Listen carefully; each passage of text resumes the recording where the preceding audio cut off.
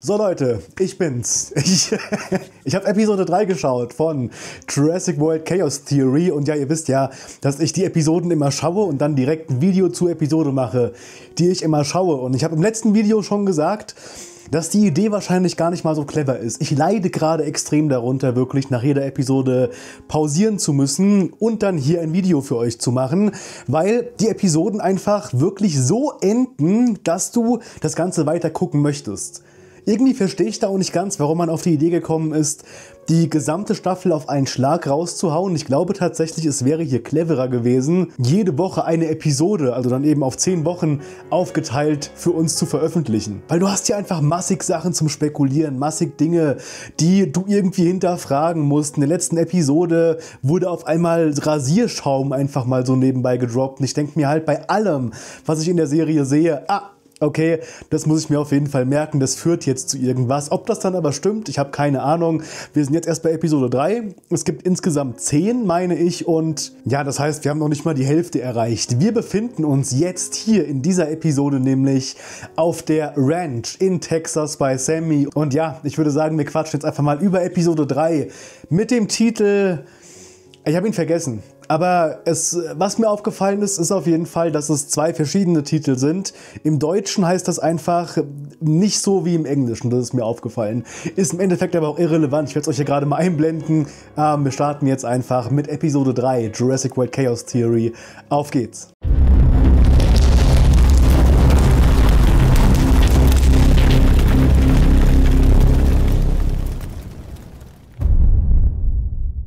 Ja, was soll ich sagen? Man merkt es auch vielleicht so ein bisschen. Mein Cognit, mein Cog, Alter, das ist so der Versuch, Fremdworte zu benutzen, aber du kannst es nicht. Meine Konzentration, die lässt jetzt schon langsam nach. Aber tatsächlich, es ist wirklich so ein Ding, wenn du permanent Pause machen musst bei dieser schon fast achterbahnartigen Fahrt dieser Serie.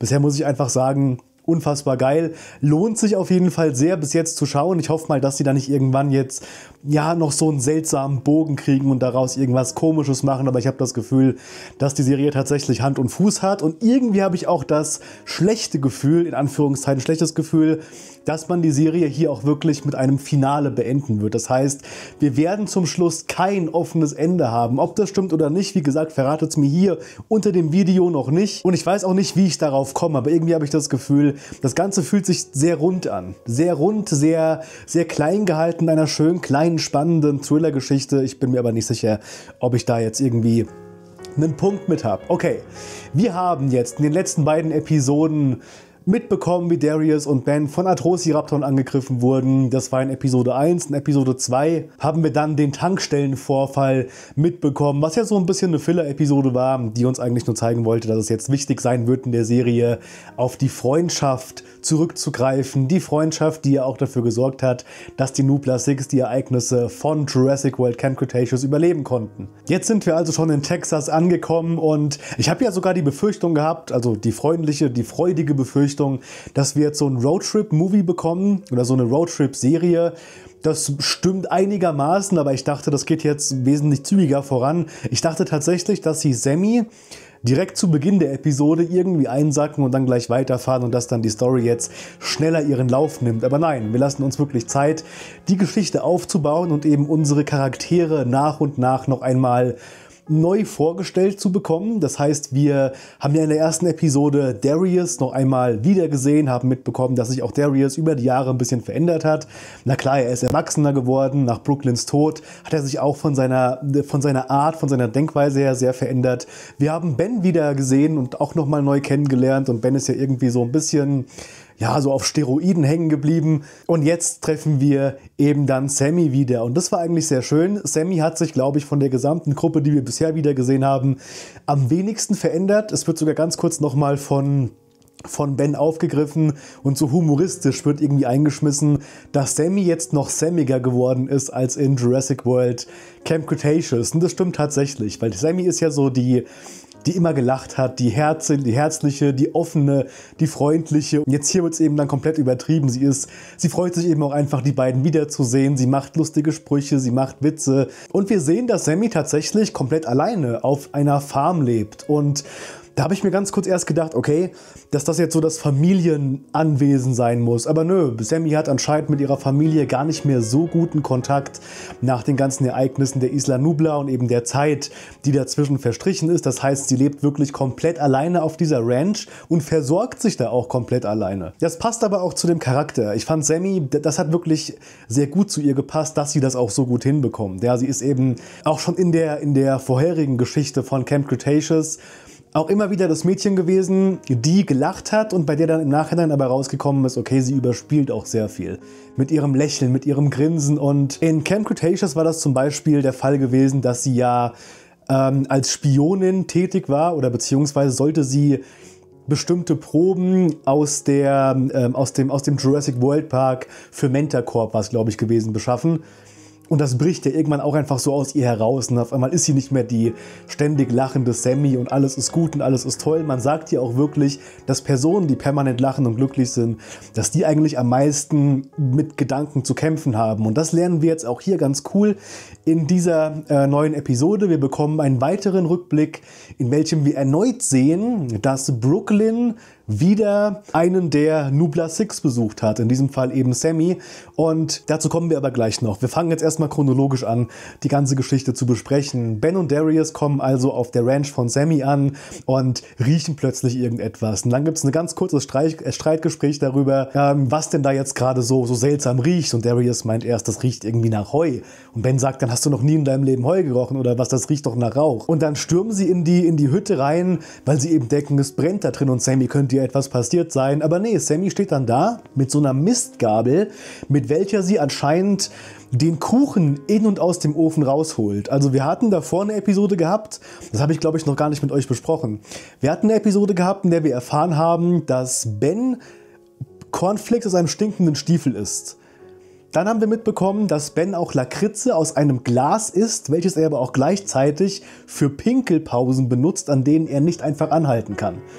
Jetzt bekommen wir mit, dass Sammy einfach eine, eine Kackegabel benutzt, um damit ihr Essen zu machen. Das ist, also ich weiß nicht, worauf das hinauslaufen soll, aber irgendwie haben die alle so ein bisschen naja, ein an der Rassel nach den Ereignissen von der, von der Isla Nubla. Und ja, wie gesagt, Sammy ist eben die, die man auch noch kennt. Ich finde tatsächlich, ich finde es nicht schade, dass sie sich am wenigsten verändert hat, aber bei ihr hätte ich mir tatsächlich vorstellen können, dass man dann da schon fast so eine Art von Kulturschock bekommt, dass sie auf einmal eine ganz andere Person ist.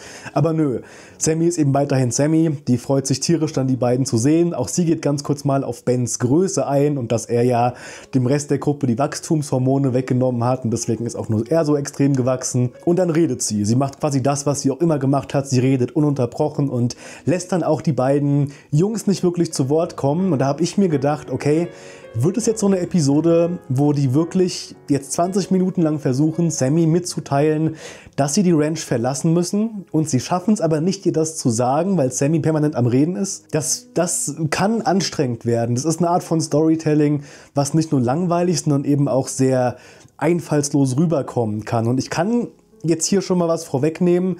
So ähnlich läuft es tatsächlich ab, aber sie haben es besser umgesetzt als eigentlich gedacht. Darauf gehen wir jetzt sofort ein. Wir sollten ganz kurz nochmal über eine, über eine Holzdiele sprechen. Die wird nochmal kurz ein bisschen wichtiger werden. Das heißt, ähm, ich habe ja schon gesagt, dass die Serie eben aufgrund dessen, dass es eine Kinderserie ist, die bauen hier und da Dinge ein, die sehr einfach zu verstehen sind. Was nicht verkehrt ist, überhaupt gar nicht. Aber auch hier ist mir wieder aufgefallen, dass Sammy direkt als dann die beiden Jungs das Haus betreten, auf einmal aus dem Nichts heraus auf so eine Diele tritt und die fällt, fängt irgendwie an zu quietschen und dann sagt sie, das muss ich noch reparieren.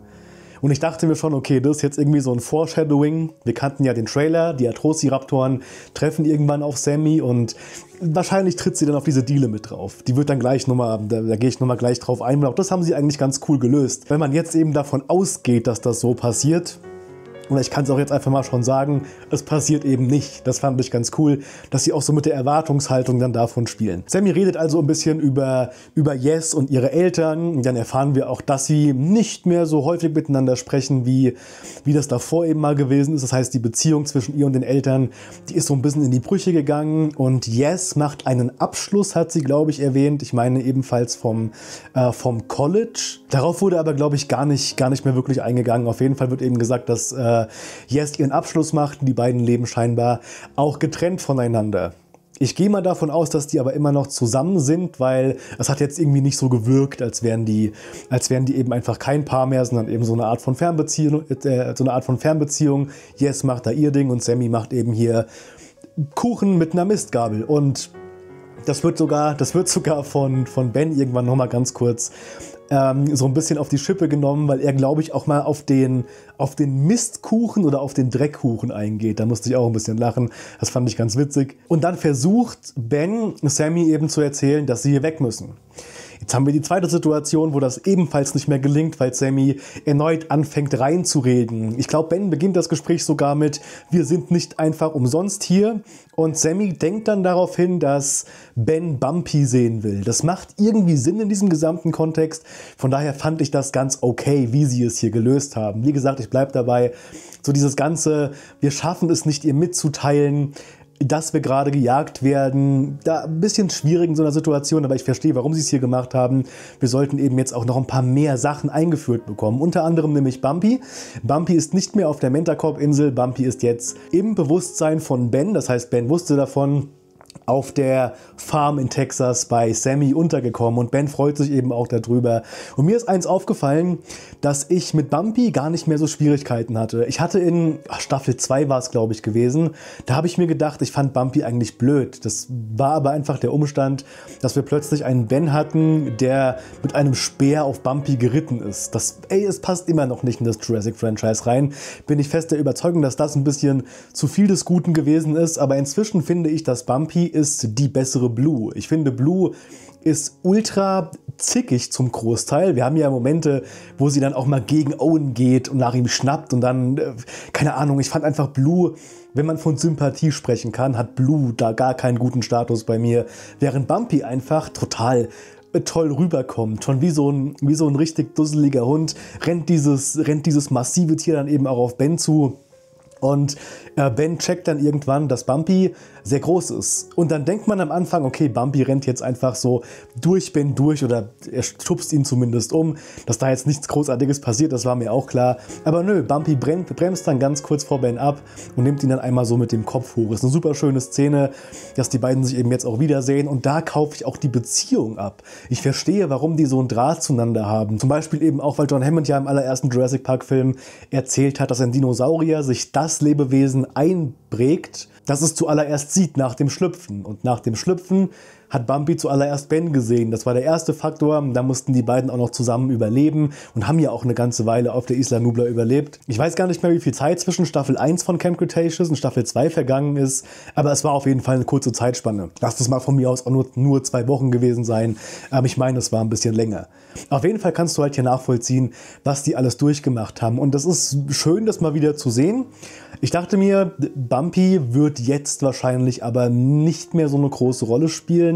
Ich habe das Gefühl, dass man das einfach noch kurz einführen wollte, dass sie jetzt eben auch auf dem Festland ist, weil sonst wäre natürlich die Frage da gewesen, wenn Ben jetzt nicht mehr auf der Mentacorp-Insel ist, wo ist denn dann Bumpy? Das haben wir jetzt hiermit beantwortet bekommen. Ich schätze mal, da kommt nicht mehr allzu viel, weil ich wüsste jetzt auch nicht, wie sie ihre Rundreise mit Bumpy zusammen machen wollen würden. Und dann lernen wir Karl kennen. Ja, wer ist Karl? Karl ist ein, ein ich, also ich muss wirklich sagen, das ist so ein typischer, wie man sich diese Proto-Amis vorstellt. Das ist so ein Typ, der denkt immer noch, er wäre Cowboy und kann mit, mit Gewalt sein Land verteidigen.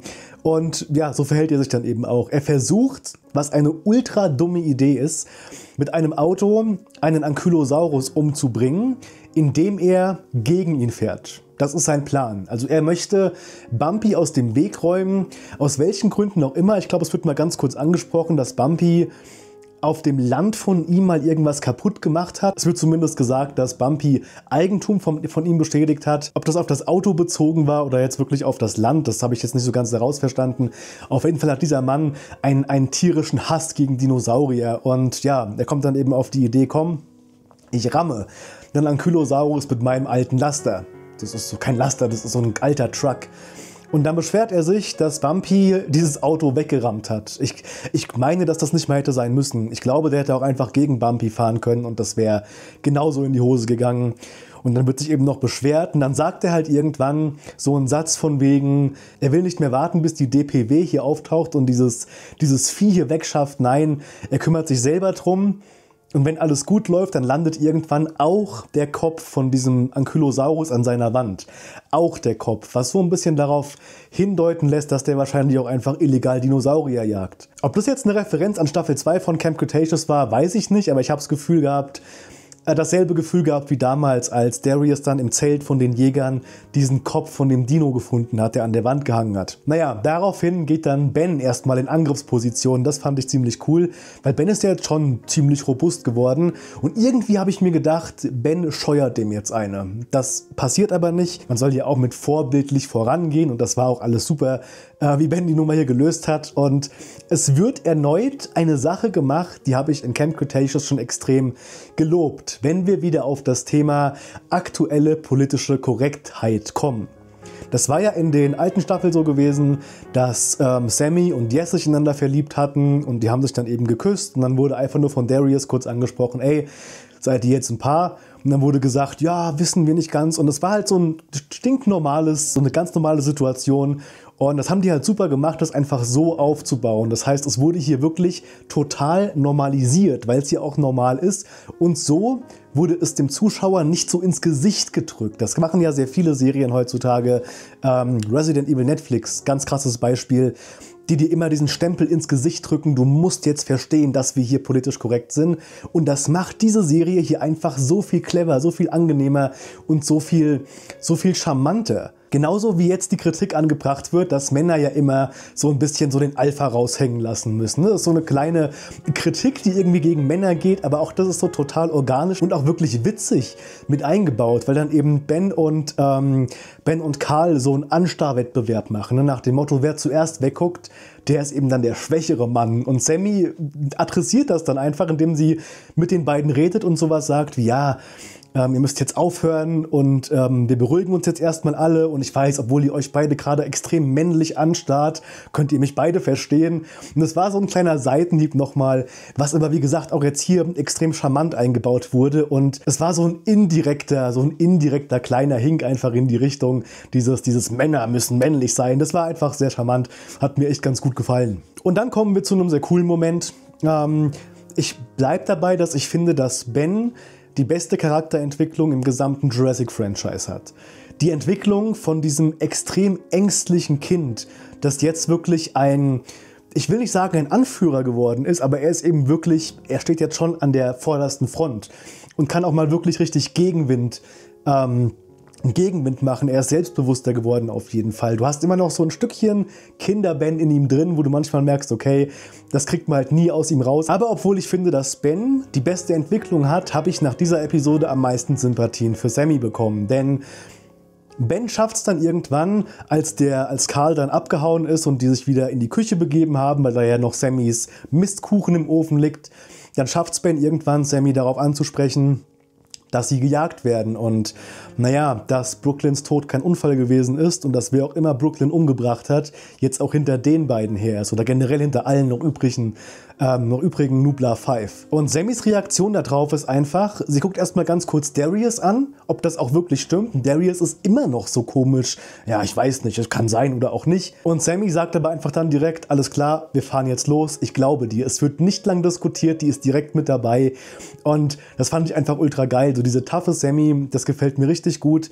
Und dann versucht sie ihre, ihre Sachen noch einzupacken, weil sie meint ja auch, wir brauchen ein paar Vorräte und alles. Und dann geht sie in so einen extra Raum und dann bekommen wir wieder ein Flashback. Und da sehen wir, wie Brooklyn in der Hütte von Sammy sitzt. Ihre Jacke ist so über einen Stuhl drüber gelehnt und sie ist am Laptop. Das ist wie gesagt ein Flashback von irgendeiner Zeit, an der Brooklyn scheinbar auch Sammy besucht hat. Und ich habe irgendwie die Befürchtung, dass Brooklyn alle der, der, ähm, der Nubla 5, also alle anderen Nubla 6, außer sich selber, logischerweise, noch einmal besucht hat, bevor dann eben der Mord passiert ist. Ich kann da noch keinen Zusammenhang finden, ob das etwas damit zu tun haben könnte, was jetzt gerade passiert. Allerdings habe ich mich hier ganz kurz gefragt, ob Brooklyn hier bei Sammy gewohnt hat, weil die wirklich wie so einen eigenen Raum hatte. Es stand, glaube ich, kein Bett drin. Ich weiß es jetzt gar nicht mehr. Aber da habe ich erst dran gedacht, okay, haben die beiden zusammen gewohnt über eine kürzere Zeit oder was ist denn da genau passiert? Wir erfahren es aber eben nicht. Wir erfahren danach nur, dass Sammy tatsächlich wieder so einen Nervenzusammenbruch bekommt und eben dieses ganze smilende, aufgesetzte Gesicht wirklich einfach nur aufgesetzt ist. Denn sie sagt ganz klar, wie soll ich denn mit all dem hier klarkommen? Meine Eltern, die reden nicht mehr mit mir. Meine Freundin, die wohnt irgendwo ganz weit weg und äh, Brooklyn ist tot. Das ist ja auch eine Sache, die auch sie noch beschäftigt. Und dann merkst du, dass naja, deswegen ist sie auch Sammiger. Sammy wird anscheinend immer Sammiger, finde ich einen geilen Ausdruck übrigens. Ähm, je mehr, je, je, je, schlechter es ihr geht. Die ist, sie, sie kann quasi sehr, sehr schlecht mit sowas umgehen und versucht das alles immer wegzulachen. Das klappt eben auch hier wieder nicht. Und dann merken eben die Jungs, okay, es geht ihr einfach auch extrem schlecht nach dem Tod von Brooklyn. Sammy versucht also so ein paar Sachen zusammenzupacken für die lange Reise. Auf einmal geht das Licht in der gesamten Hütte aus. Und auch jetzt, Foreshadowing, Jetzt wird erstmal so getan, okay, das ist wieder ein Stromausfall, ich gehe mal zu den Sicherungen. Das ist warum macht das eigentlich jeder Film? Jeder Film, der irgendwie Spannung aufbauen will oder jede Serie, wenn das Licht ausgeht. Also ich gehe erstmal zum, äh, zum Sicherungskasten und die andere Partei, die geht irgendwo ganz woanders hin. Damit du eben jetzt zwei verschiedene Storylines hast. Und die haben wir jetzt auch hier. Natürlich war klar, was als nächstes passiert. Wir haben hier nicht einfach nur einen ganz normalen Stromausfall, aber wir sehen dann draußen das Auto von Karl vor der Tür stehen. Und ich dachte mir im Ernst, dass wir jetzt eine Episode bekommen, in welcher Karl der Antagonist ist, dass wir jetzt eine Kampf gegen Karl Folge bekommen würden, denn der hat ja schon gedroht, dass er jetzt Bumpy aufs Korn nehmen will und das hat er anscheinend auch vorgehabt. Ich meine, Karl war ja da, das Auto von Karl stand vor der Ranch von Sammy nur kommen dann Ben und Darius an sein Auto ran und sagen eben hier, Karl, wir wissen, dass du es bist. Ähm, ja, kannst dich auch gleich zeigen. Und dann liegt Karl aber einfach tot neben seinem eigenen Auto. Das heißt, er hängt dann da. Wir sehen es natürlich nicht ganz, aber er ist auf jeden Fall tot. Und ich habe mir ganz kurz gedacht, nachher tauchen dann nämlich auch, oder gleich tauchen dann nämlich auch die Atrociraptoren auf. Und ich habe mir gedacht, waren das die Atrociraptoren? Die ihn getötet haben? Oder ist das die Person, die die Atrociraptoren kontrolliert? Also kann die Person vielleicht auch irgendwie was, keine Ahnung, Genick brechen oder so? Ich meine, Owen war ja auch ein Navy SEAL, weil es sah nicht so aus, als wäre Karl jetzt großartig aufgeschlitzt oder eben halb gefressen worden. Du hast auch, glaube ich, kein Blut gesehen. Deswegen ist mein Gedanke jetzt gerade zu der Episode immer noch, dass welche Person da auch immer dahinter steckt, dass es eine Frau ist, weiß ich inzwischen, ähm, dass die möglicherweise auch einiges auf dem Kasten hat und gar nicht mal so ungefährlich ist. Wenn das also stimmt, haben wir jetzt eine Person, die hier mit vier Atrociraptoren ähm, die sie kontrolliert, auf Menschen schicken kann und eben selber noch naja, auch handgreiflich einiges auf dem Kasten hat. Da bin ich sehr gespannt, was sie damit noch machen. Das könnte dann natürlich auch wieder in so einem James Bond-Bösewicht-Ding enden. Aber ich lasse mich da jetzt erstmal wirklich überraschen. Sie machen es ja gerade auch ganz cool. Und Karl war übrigens auch unser erster Toter gewesen in der Serie, glaube ich. Haben wir davor schon mal einen Toten gesehen? Außer Brooklyn, wo ich immer noch sage, ich glaube nicht, dass Brooklyn tot ist. Aber Karl ist jetzt der Erste, der den Atrociraptoren hier zum Opfer gefallen ist. Und dann bekommen wir ein schönes Kammerspiel. Das ist das ist genau das, was ich mal erzählt habe. Wir haben uns mal gemeinsam auf Twitch eine, einen Kurzfilm von Ali Awada angeschaut. Das ist ein YouTuber, der mit Blender selber Kurzfilme erstellt, mit so schönen Animationen.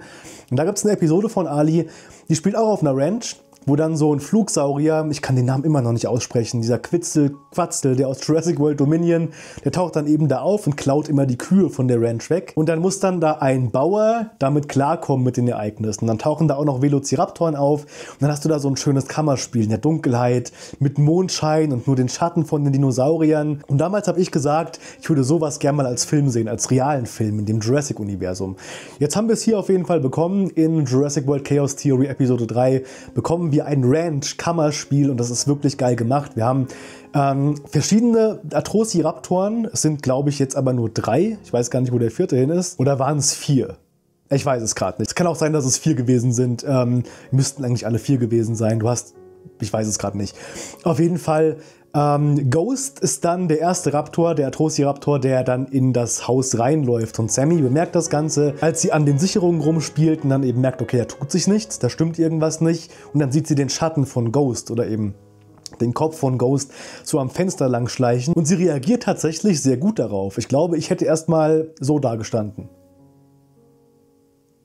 Dann wäre ich tot. Aber sie ist auf jeden Fall direkt in Deckung gegangen und versteckt sich dann ebenfalls in dem, in dem Haus und Ghost kommt dann eben auch rein. Und dann versucht sich Sammy an Ghost vorbeizuschleichen und ich dachte mir, okay, jetzt tritt sie auf diese, auf diese Holzdiele, die ich am Anfang erwähnt habe, weil die wurde ja schon angeteasert mit, die knackt und sie merkt das aber und macht dann einen Satz über diese Diele. Also sie läuft quasi drüber, ohne sie zu berühren und wirft dann dabei aber diese Mistgabel aus Versehen um. Ja, logischerweise flippt dann daraufhin Ghost aus. Kurz darauf oder parallel dazu sehen wir auch, wie Darius und Ben mit den anderen beiden Atrociraptoren zu kämpfen haben. Es sind nur drei. Es sind nur drei, oder bin ich doof? Du kannst aber halt auch alle außer Ghost nicht auseinanderhalten, weil es hier wieder dunkel ist. Es müssten halt vier sein. Ne? Es, sind, es sind ja vier Atrociraptoren. Auf der Ranch sind aber auf jeden Fall nur drei. Bin ich mir recht sicher, weil wir haben einmal Sammy, die mit Ghost zu tun hat. Dann macht Tiger und Red oder Tiger und Pentira oder einer von den anderen drei auf jeden Fall, macht dann mit, mit Darius ebenfalls so ein kleines Kammerspiel und noch ein anderer ebenfalls auch mit Ben. Und Ben schafft es dann irgendwann Bumpy zu befreien. Das finde ich ziemlich cool. Wir bekommen jetzt hier einen schönen Dinosaurierkampf und Bumpy ist ja schon mächtig. Das merkst du auch dann total, weil ein Ankylosaurus hat ja diese gewaltige Panzerung auf dem Rücken und der Atrociraptor hat keine Chance gegen, gegen Bumpy. Also das, der Kampf ist jetzt nicht unbedingt spektakulär, aber es ist schon ganz cool, das mal zu sehen und ich mag Bumpy einfach. Ich finde das ziemlich cool, dass die auch so, naja, so auf der Seite der Menschen ist. Und ich weiß, bei Blue habe ich das immer so ein bisschen bemängelt, dass Blue immer nur die Bösen frisst und immer die Guten am Leben lässt. Aber Mann, Blue ist halt auch einfach ein Velociraptor. Und Velociraptoren, finde ich, gehören nicht so auf diese auf diese mein treuer Freund und Begleiter Schiene. Raptoren gehören einfach, wie jetzt hier in der Serie auch, als, als wirklich gefährliche, düstere Dinosaurier, vor denen du auch einfach Angst hast, wenn sie auftauchen. Letztendlich schaffen es dann auf jeden Fall die Jungs zusammen mit Sammy zu entkommen. Dann fahren sie mit Bens, äh, mit Bens Wagen weg und Sammy packt auf einmal eine Karte aus. Und diese Karte ist ihr wohl genau jetzt, welch ein Zufall, aus der Tasche von Brooklyn herausgefallen, als sie irgendwas gemacht hat. Ich habe ja vorhin erwähnt, dass Brooklyn ihre Jacke über diesen Stuhl gehangen hat in diesem Flashback und die Jacke war immer noch da. Die hat sie anscheinend da vergessen oder so, keine Ahnung. Oder sie ist direkt nach Sammy irgendwo hingegangen, ich weiß es nicht. Auf jeden Fall findet Sammy dann jetzt eben in diesen ereignisreichen, in dieser ereignisreichen Situation, findet dann eben Sammy die Karte von Brooklyn, macht sie auf und dann haben wir ganz viele Sachen, die dich einfach nur noch mehr verwirren. Also wenn man glaubt, dass man bis Episode 3 immer mehr Schnipsel bekommt, die dir nach und nach mehr erklären, was gerade abgeht, das kannst du komplett vergessen. Du hast in Episode 2 einfach, nee, in Episode 1 einfach diese riesige Karte bekommen von Ben, der alles miteinander verbunden hat, also alles. Und jetzt haben wir eine Karte von Brooklyn, bei, auf der bestimmte Punkte eingezeichnet sind von Orten, wo die Nupla Six wohnen, also wirklich Adressen, aber auch von anderen Orten. Und Sammy geht dann ebenfalls auch darauf ein, dass das hier alles Adressen sind. Das sind alles Standpunkte, wo jemand von uns wohnt. Und dann sagt Darius aber, ja gut, aber da ist ein Punkt zu viel eingezeichnet. Wer ist denn das? Was ist denn das hier für eine Person? Naja, dann quatschen sie eben so ein bisschen über diese Karte, was da alles drauf zu sehen ist. Und dieser eine Punkt, der, der Punkt, der eben keine zuortbare Adresse gewesen ist, an diesem Punkt war eine Uhrzeit angegeben. Und das war wohl die Uhrzeit, an, welchem, äh, an welcher Brooklyn dort gewesen ist. Und Darius sagt dann, das ist kurz passiert, oder diese Uhrzeit ist kurz vor dem Unfall mit dem Allosaurus, also kurz bevor Brooklyn vermeintlich gestorben ist. Ich habe mir zwar auch nur gedacht, okay, muss das sein? Ich meine, da ist ja nur eine Uhrzeit wohl angegeben, aber kein Tag, glaube ich zumindest. So, wenn das nur die Uhrzeit ist, kann das ja auch ein anderer Tag einfach gewesen sein. Wahrscheinlich war ein Datum mit dabei. Ich habe es aber wieder irgendwie so ein bisschen verdrängt. Ich versuche tatsächlich in jeder Episode schon das Rätsel zu lösen. Ich, äh, es wird aber halt einfach nichts. Ich werde immer, immer dümmer, je mehr ich gucke, weil immer mehr mit dazukommt. Ich weiß auch nicht, wer diese Person sein soll, die dann noch irgendwie in der Mitte eingekreist ist. Da habe ich ganz kurz überlegt, wen gab es denn noch in alten Staffeln. Ähm, vielleicht lebt Hep noch. Ich habe da keinen kein Zusammenhang jetzt irgendwie, aber wenn Hep noch am Leben ist, das fände ich ganz cool. Ansonsten habe ich keine Ahnung, wer da sein könnte. Also wer ja an diesem Punkt eben sein könnte. Und da fahren sie jetzt aber scheinbar erst einmal hin. Das heißt, ich werde sehr wahrscheinlich in der nächsten Episode erfahren, wer genau dort ist. Und dann werden die Atrociraptoren befreit. Die sind nämlich bei dem ganzen Gerangel auf der Farm irgendwie eingesperrt worden. Zumindest einer von denen ist, glaube ich, in dem Gehege von Bumpy eingesperrt worden. Und dann sehen wir, wie so eine Hand kommt und eben dann die, den Raptor befreit. Und dann mit der hören wir die Pfeife auch wieder. Und die Raptoren rennen in so einen Bus rein. Der transportiert die weg. Das heißt, wir bekommen auch jetzt eine Antwort auf Darius Frage, die er nämlich am Anfang gestellt hat, als die Atrociraptoren gerade auf der Ranch angekommen sind. Da fragt er sich nämlich, wie konnten die jetzt so schnell von A nach B kommen? Weil wir haben die ja irgendwo in den Big Rock Mountains damals abgehängt und jetzt sind wir in Texas und jetzt tauchen die auf einmal hier auf. Und die Antwort ist ganz einfach, dass die Person, die diese Raptoren kontrolliert, denen scheinbar mit so einem Auto hinterherfährt, wo eben die Raptoren drin sind. Zwar haben wir sie immer noch nicht gesehen, aber ich bin, ich bin, ja, ich bin sehr gespannt drauf, wer das sein könnte. Ich glaube nicht, dass wir die Person schon kennen. Weil wir haben ja auch schon Silhouetten oder bestimmte Ausschnitte und Körperpartien von der Person gesehen im Trailer. Und die hat ja so eine ganz blasse Haut. Ich habe keine Ahnung, ob wir das schon mal irgendwo gesehen haben. Aber ich würde einfach mal behaupten, dass das hier eine neue Figur ist. Am Ende ist das einfach Brooklyn. So eine Zombie-Brooklyn, die so halb überlebt hat und mit Gentechnik dann so äh, irgendwie da rumläuft. Ich habe echt keine Ahnung. Und in dieser Episode werde ich auch mal keine Theorie von mir geben, weil ich mich sonst selber viel zu kirre mache. Das mache ich aber in der nächsten Episode wieder. In Episode 4 am Ende werde ich erneut eine Theorie aufstellen und versuchen, das Rätsel jetzt zu lösen. Jetzt könnt ihr mir gerne in die Kommentare reinschreiben, wie Episode 3 von Jurassic World Chaos Theory fandet. Und wie gesagt, bitte nichts zu den kommenden Episoden spoilern in den Kommentaren, sondern einfach nur über Episode 1, 2 und 3 jetzt hier sprechen, weil ich jetzt bis zu dem Zeitpunkt hier auch nur Episode 1, 2 und 3 gesehen habe. In diesem Sinne, ihr Lieben, sehen wir uns wieder zu Episode 4. Macht's gut. Ciao, ciao.